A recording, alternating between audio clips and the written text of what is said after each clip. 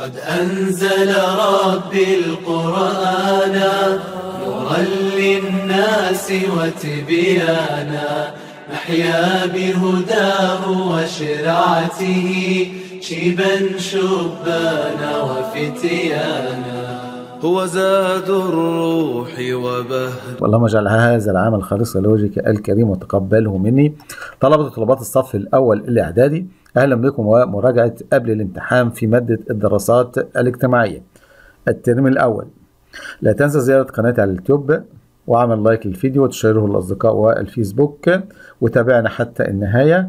طيب يلا بينا نبدأ. تعال نشوفه مع بعض. إيه أول حاجة بيقول لك هنا السؤال الأولاني بيقول لك قدامك خريطة صماء للعالم ومكتوب عليها إيه؟ أرقام. وكل رقم بيدل على حاجة فإحنا نشوف مع بعض كده. طبعا هنا في رقم واحد. شو رقم واحد. يبقى رقم واحد دي عبارة عن إيه؟ بيقول دائرة عرض. عرض إيه؟ يبقى دائرة إيه؟ دائرة عرض الإيه؟ دائرة الاستواء. يبقى خط الاستواء أو دائرة الإيه؟ الاستواء. طب تاني حاجة قارة القارة رقم اتنين. شايف القارة رقم دي اتنين ديت؟ آه دي تعتبر مين؟ ديت أمريكا الشمالية. يبقى تعبر عن أمريكا الايه الشمالية. طب رقم ثلاثة بيقول لي هنا هوت البحر. البحر اللي هنا ده شايف معايا كده أهوت؟ يبقى ده اسمه البحر الايه المتوسط. يبقى البحر ده بيدل على البحر المين المتوسط. طب تعال نشوف رقم أربعة. ماشي؟ يبقى دي قارة. قارة إيه؟ آه دي قارة مين؟ أستراليا. يبقى رقم أربعة ديت بتدل على قارة مين؟ أستراليا. طب رقم خمسة بيقول لي هنا المحيط، رقم خمسة يبقى نقول له المحيط المين؟ الهادي، يبقى ده عبر عن المحيط الإيه؟ الهادي. طب تعال نشوف السؤال بعد كده بيقول لي ما المقصود بكل من؟ واحد المجرة، إيه هي المجرة؟ تعال نعرف يعني كلمة مجرة. المجرة هي إيه؟ هي عبارة عن عدد من النجوم في تجمعات مختلفة الأحجام والأشكال والألوان. وتحتوي على ملايين النجوم التي تفصل بينها مسافات كبيرة. يبقى دي اسمها الإيه؟ المجرة. طب تعال نعرف حاجة اسمها خطوط الطول. إيه هي خطوط الطول؟ بنقول خطوط الطول هي عبارة عن إيه؟ أنصاف دوائر تصل بين القطبين الشمالي والإيه؟ والجنوبي. يبقى ده اسمها خطوط الإيه؟ الطول.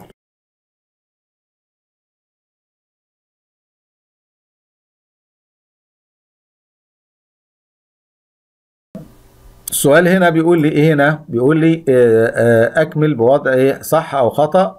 ضع علامة صح أمام العبارة الصحيحة وخطأ أمام الخاطئه مع تصحيح الإيه؟ الخطأ.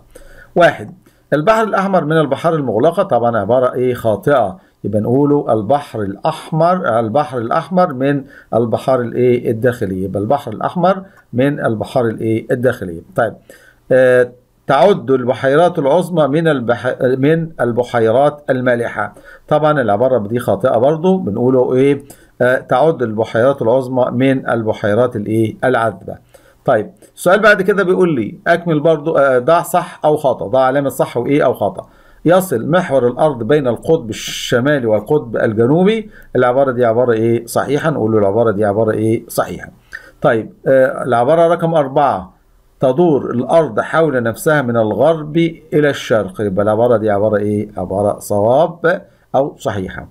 طيب تعالى بيقول لي هنا أكمل العبارات الآتية بكلمة مناسبة من بين الإيه القوسين.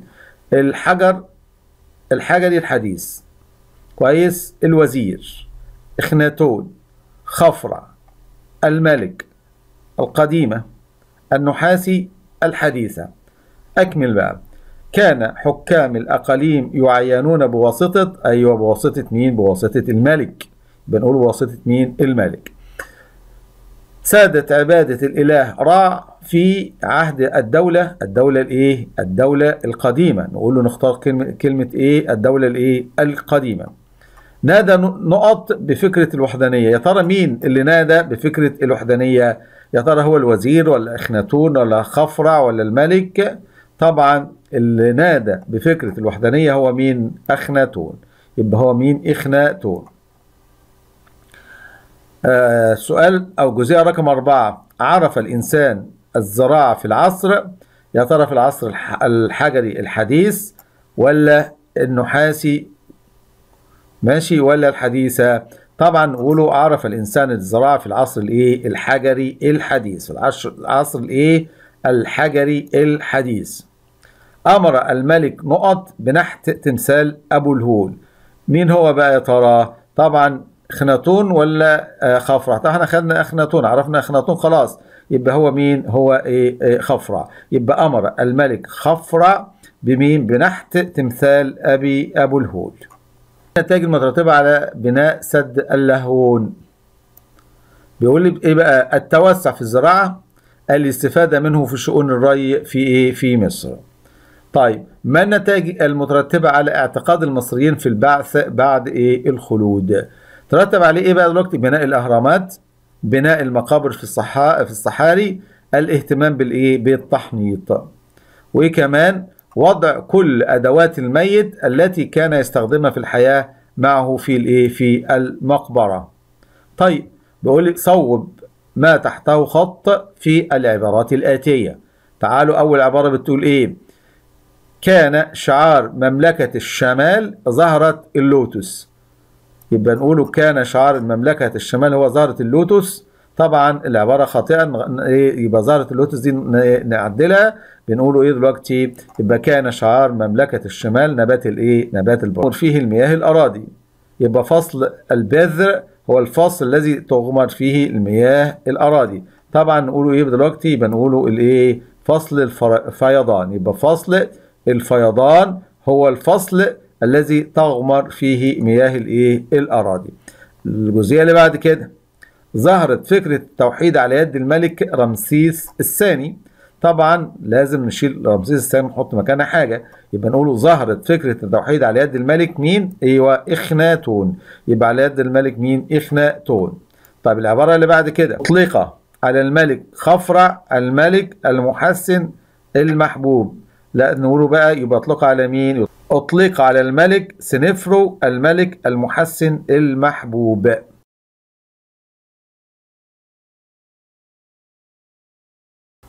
طيب هنا بيقول لي اختر ال- الإجابة الصحيحة من بين الأقواس. يع- يعرف كوكب نقط بالكوكب الأحمر. الأرض ولا المريخ ولا عطارد ولا المشتري؟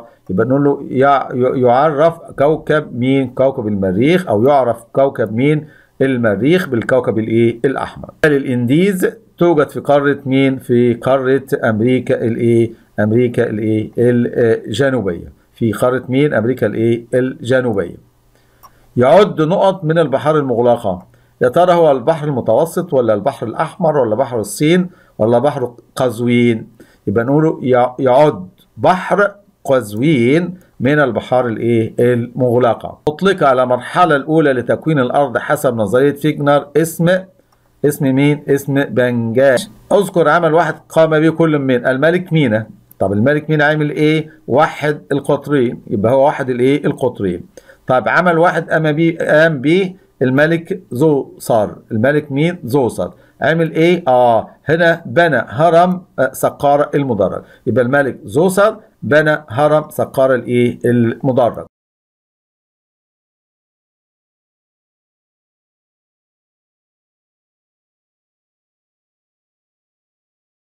إلى من تنسب الأعمال. الآتية واحد. أرسل بعثة من الفينيقيين للدوران حول أفريقيا. مين بقى؟ يبقى نسميه إيه نخاو. أقام سد اللاهون بالفيوم من مين هو؟ يبقى نقول هو مين اسمه إيه؟ أمن محتب الثالث. أمن محتب الثالث. طيب. دعا إلى عبادة إله واحد اللي هو مين؟ وإيه إخناتون. طيب عقد أول معاهدة سلام في التاريخ مع الحيثيين. يا ترى هو مين ده؟ طبعا نقوله إيه؟ رمسيس الثاني. يبقى هو مين؟ رمسيس الثاني. قام بحفر قناة سيزوستريس مين اللي قام بها؟ هو مين؟ سنوسرت الثالث برهن على صحة العبارات الآتية. تعددت مهام الملك في مصر القديمة. تعددت مهام الملك في إيه؟ مصر القديمة. ليه بقى؟ علشان الدفاع عن البلاد صد المعتدين إقامة العدالة بين الناس تأمين وسائل الحياة الكريمة؟ لشعبه. طيب الحاجة التانية برضو يقول لي برهن على صحة العبارة الآتية. اعتقاد المصري القديم في البعث والخلود. طيب تعال نشوفه بقى. عامل إيه بقى؟ اه- اهتمامه بالتحنيط. يبقى لما كان بيعمل التحنيط أدي حاجة. الحاجة التانية بناء الأهرامات. الحاجة الثالثة بناء الإيه؟ المقابر. الخريطة اللي قدامنا دي إيه؟ بيقول لك أنا خريطة صماء للعالم. اكتب مدلول الأرقام الواقعة عليه. يبقى ده خريطة للعالم أهيت. وبعد كده أعطينا أرقام ويقول لي اكتب الأرقام. أول حاجة دائرة عرض. يبقى هنا خد بالك معايا. دائرة العرض ديت اللي هي رقم واحد ديت. يبقى دائرة إيه ديت يبقى نقوله دائرة عرض مين؟ دائرة عرض مدار الايه السرطان. طيب آه تاني حاجة بيقول لي البحر. رقم اتنين تعال نبص على رقم اتنين البحر ده شايف معايا؟ البحر ده بيشير لإيه؟ طبعا ده البحر الايه الأحمر. يبقى ده بيعبر عن البحر مين؟ الأحمر. رقم ثلاثة بيقول لي المحيط. يبقى المحيط اللي هنا. في رقم ثلاثة يبقى ده اسمه المحيط الايه؟ الهندي. يبقى ده اسمه المحيط الايه؟ الهندي. رقم أربعة دائرة عرض. فين في رقم أربعة؟ أهيت. يبقى هنا رقم أربعة دائرة عرض أهيت الخط دهوت يبقى دائرة عرض مين؟ خط الايه؟ يبقى رقم أربعة اللي هو ده. خلاص معايا. ده بيعبر عن دائرة عرض خط إيه؟ خط الاستواء. يبقى ده خط مين؟ خط الايه؟ الاستواء. طب رقم خمسة. رقم خمسة على الخريطة. بتمثلي قارة مين؟ قارة مين؟ آسيا. يبقى دي بتمثل قارة إيه آسيا. طب تعالى نشوف اللي بعده. بيقول لي قارن بين الأشعة العمودية والأشعة المائلة. خلاص تعالوا نشوفوا المقارنة كده مع بعض. هنا نقوله مع بعض تعالى نشوف مع بعض كده. بيقول لي الأشعة العمودية. بتعمل إيه؟ تخترق مسافة أقل. يبقى هنا بنقول العمودية بتنزل كده بتخترق مسافة أقل. تستغرق زمنا أقل تن تنزل على مساحة أقل. بتنزل على مساحة إيه؟ أقل. طب الأشعة المائلة؟ بتخترق مسافة أكبر. خلاص تستغرق زمنا أكبر كبير أكتر من كده.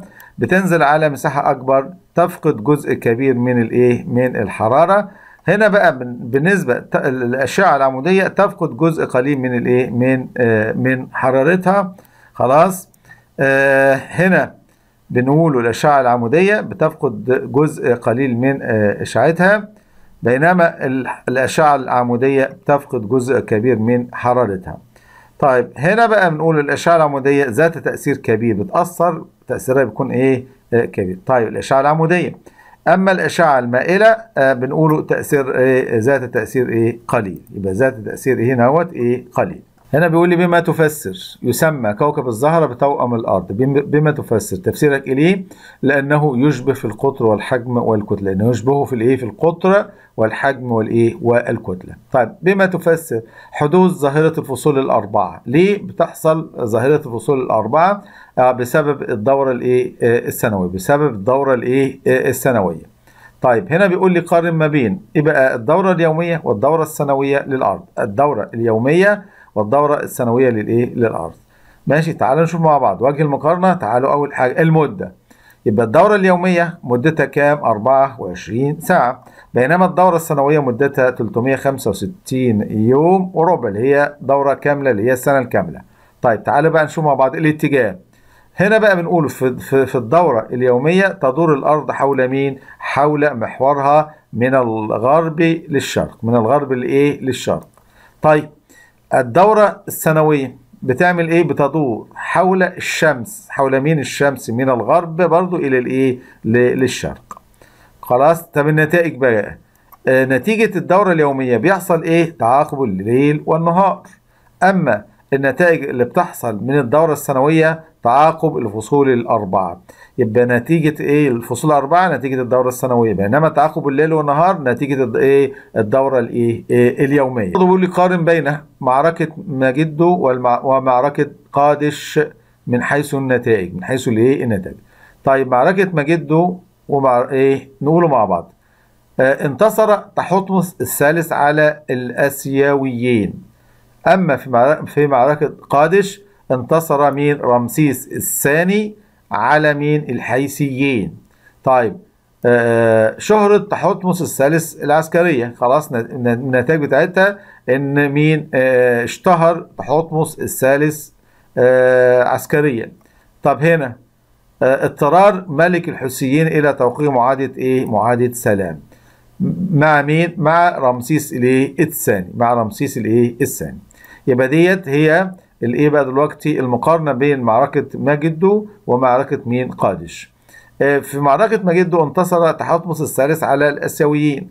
أما في معركة قادش انتصر رمسيس الثاني على الحسيين هنا في معركة مجدو آه، شهرة تحتمس الثالث العسكرية. أما في معركة قادش اضطرار ملك الحيثيين على تحقيق معاهدة السلام مع رمسيس مين؟ مع رمسيس الثاني طيب صوب ما تحته خط في العبارات الآتية أول عبارة بيقول لي إيه؟ يطلق على عصر الدولة الوسطى إيه دلوقتي؟ الوسطى عصر بناة الأهرامات لا دي اسمها إيه بقى؟ نسموها عصر الرخاء الاقتصادي يبقى يطلق على عصر الدولة الوسطى عصر مين؟ الرخاء الإيه؟ الاقتصادي طيب اتنين تعتبر الصناعات الجلدية أقدم الصناعات في مصر القديمة. طبعا العبارة دي خطأ. نصححها مع بعض كده نقوله إيه تعتبر أو تعتبر الصناعات الحجرية أقدم الصناعات في مصر إيه القديمة. ثلاثة اعتقد المصري القديم أن الروح تتعرض للحساب أمام محكمة برئاسة الإله آمون طبعا هنا نقول العبارة نصحح العبارة. نقول اعتقد المصري القديم أن الروح تتعرض للحساب أمام محكمة برئاسة الإله أوزوريس. العبارة اللي بعد كده بيقول إيه؟ اتخذ الهكسوس مدينة منف عاصمة له. الصحيح بقى نقوله إيه؟ اتخذ الهكسوس مدينة أورايس عاصمة لهم. في الشكل المقابل بيقول لك خريطة صماء للعالم خلاص؟ بتكتب عليها مكتوب أرقام وإحنا بن إيه بنشوف الأرقام ديت. أول حاجة بيقول لك هنا في إيه دلوقتي؟ المحيط. يبقى رقم واحد المحيط هنا مين؟ يبقى ده اسمه المحيط الإيه؟ الهادي. يبقى أول حاجة عندنا ده بيعبر عن المحيط مين؟ الهادي. طب رقم اتنين تعال نشوف رقم اتنين. بيقول لك قارة يبقى دي اسمها قارة مين؟ أمريكا الشمالية. يبقى دي أمريكا الإيه؟ الشمالية. طب رقم ثلاثة شايف رقم ثلاثة ده يعبر يعبر عن مين؟ عن خط الإيه؟ إيه الاستواء. يبقى ده خط مين؟ إيه خط عرض الإيه؟ الاستواء. طب رقم إيه كام؟ رقم أربعة. هنا رقم أربعة المحيط. ده اسمه المحيط ده إيه؟ اسمه المحيط الهندي. يبقى رقم أربعة ده بيعبر عن المحيط الإيه؟ الهندي. طب رقم خمسة بيقول لي قارة القارة اللي هنا في رقم خمسة دي اسمها قارة مين؟ قارة الايه آسيا. يبقى دي قارة مين؟ آسيا. العبارة اللي بعد كده بيقول لي اكتب المصطلح الجغرافي الدال على كل من العبارات الآتية. جسم صلب يحترق جزئيا عند احتكاكه بالغلاف الجوي. ده بنسميه إيه؟ إيه؟ النيازك دوائر وهمية تحيط بالكرة بالكرة الأرضية. دوائر وهمية تحيط بالكرة الأرضية. دي بنسميها إيه؟ دوائر الإيه؟ العرض. نسميها دوائر الإيه؟ العرض. في نهاية هذه الحلقة أتمنى أن تنال إعجابكم. لا تنسى الاشتراك في القناة وتعمل لايك للفيديو. وتشيره للأصدقاء والفيسبوك. والسلام عليكم ورحمة الله وبركاته.